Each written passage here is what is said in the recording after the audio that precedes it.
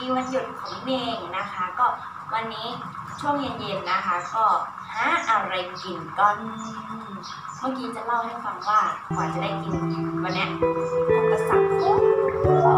จะเยอะเลยจะไปทำบุญวัดก็ปิดเพราะเป็นช่วงโควิดพระไม่ให้เข้าวัดนะคะคุณบอกแล้วจะกินกุ้งจะกลับบ้านมาแล้ว ไปซื้อเตาย่างยางรถรั่วโอ้โหวันนี้นะคะกว่าจะได้กินเมนูนี้ ก็ต้องใช้เวลานิดนึงนะคะ วันนี้ก็มาพบกับช่องของเราได้ชื่อช่องแล้ว กินได้ไหมอะก็เดี๋ยวมาดูกันว่าวันนี้เมนูของเราจะเป็นอะไรกันกันกันกันกันกันกันกันกัน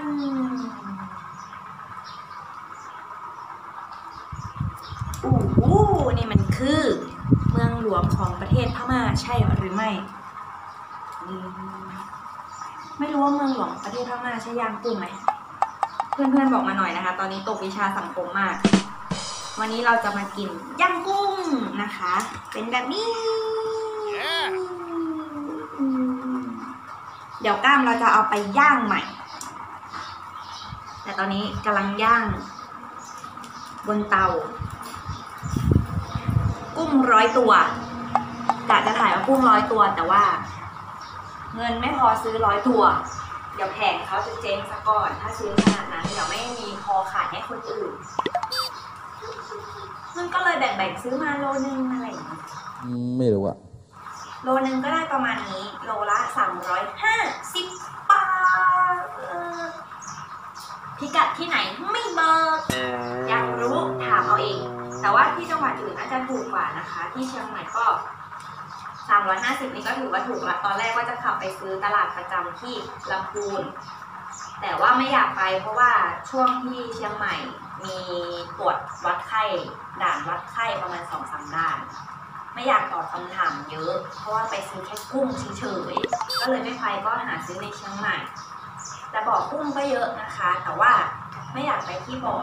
ก็ไปที่ตลาดง่ายสุด ก็ได้มาหนึ่งกิโลกินคนเดียว ด้วยไม่แบ่งกุ้งของเราไม่กินม่วง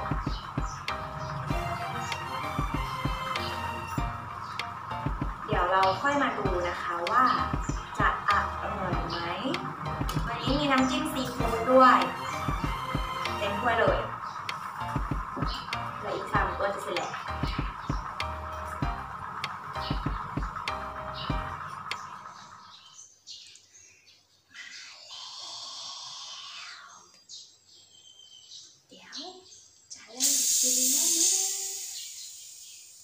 คลิปนี้ไม่หานะคะ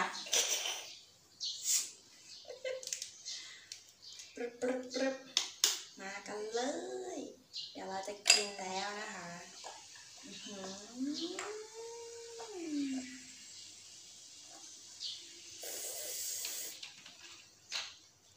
ช่วงนี้โควิด สีน้ำที่กินก็จะเปลี่ยนนิดนึงนะคะ อันนี้ก็จะเป็นน้ำโค้กแต่ว่าใส่ในแก้วไวน์มองให้มันเป็นไวน์นะคะเพื่อนๆนะคะ ก็เดี๋ยวเราจะมาลองกิน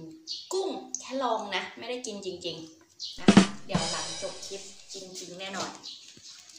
กุ้งยั่วๆจ้า น่ากินไหมล่ะตอนนี้เป็นช่วงเย็นๆนะคะ ประมาณ4ี่ห้าโมงเย็นเนาะก็เริ่มหิวแล้วแหละนะคะ ออกไป ส่งของให้คล้องนะคะ ตอนนี้ก็กลับมากินกุ้งกันที่บ้าน ไปหาซื้อกุ้งได้ไม่ยาก ถ้าใครอยากกินก็ไปหาแถวบ้านได้เลยนะคะ แต่ช่วงนี้ก็จะมีพี่แก๊ปพี่ฟู้ดแพนด้าต่างๆนะคะเขาก็จะส่งอาหารถึงบ้านเราเนาะแต่ก็ต้องเช็คอีกทีหนึ่งว่าอาหารสดหรือเปล่า ทีนี้เราจะมาทดลองกันจุ้งตัวใหญ่ๆอื้อหือเพื่อนดูดิ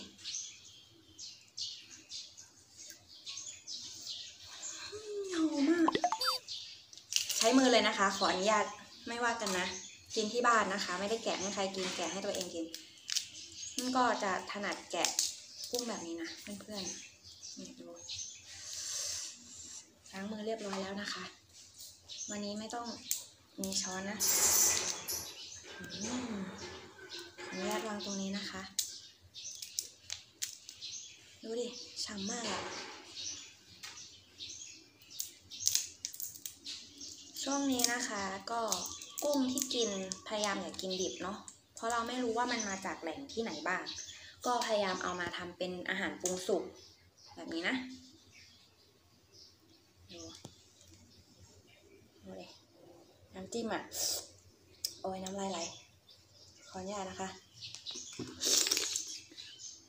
หืมขอเสียงมารยาทนิดนึงนะคะเป็นเสียงดัง อยากอวดอะ หืม ฟินอะดูหัวกุ้งน่าจะเป็นคนกินแกะแบบหัวมีเด็กงอแง ไม่รู้เด็กที่ไหนนะคะ น้องไวกี้เอง มาดูตรงหัวนะแกะตรงนี้ออกก่อนอะเดี๋ยว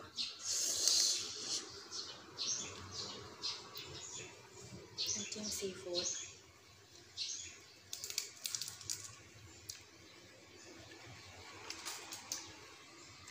ร่อยอะ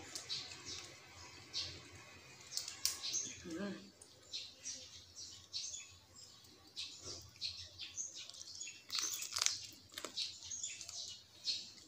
อืมเย็นหวาจ้าอร่อยอะฟินอะดูเลยอืมเยอะๆ มือเลอะนะคะ กินไม่ได้กินแบบคุณนายนะมันเลอะหนูกล้ามีคาว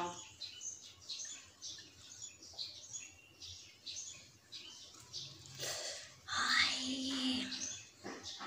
เห็นคลิปเขากินแบบอะไรนะ กินแบบซีดๆก่อนนอน แต่ตอนนี้ตอนเย็น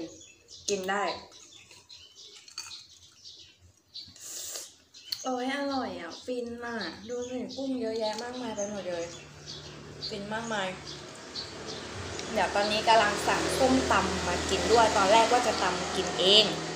แต่เดี๋ยวเราต้องมีภารกิจไปทำงานทำธุระอีกหลายอย่างเลย ก็เลยเดี๋ยวสั่งพี่แก๊ปมาละกันนะคะ เอาไว้คลิปหน้าเดี๋ยวนุ่นมาตำส้มตำครั้งแรกในชีวิตให้ดู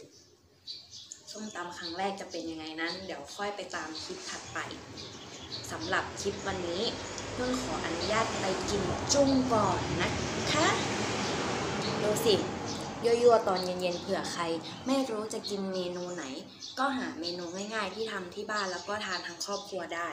ของนุ่นก็วันนี้จะเป็นกุ้งเผา แบบนี้นะคะ ฝากกดไลค์กด subscribe กดติดตามช่องของเราด้วยนะคะซิปปีในชื่อรายการว่า อร่อยไหมอะ เอาไม่ใช่เหรอ กินได้ไหมอะช่องบอกว่ากินได้ไหมอะนะคะ นั่นไงบอกว่าจะคลิปแบบปิดสวยงามนะคะ ก็จำชื่อช่องของตัวเองผิดเออเออกินได้ไหมอะนั่นแหละนะคะ ก็ตามนั้น เดี๋ยวค่อยว่ากันกินได้อยู่แหละ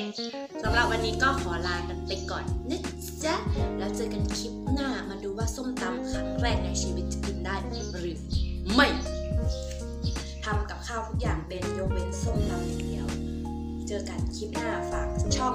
จะบอกว่าฝากซ่องนะคะฝากช่องซิปปี้ไว้ให้ด้วยนะคะ แล้วก็ติดตามเพจของเราซิปปี้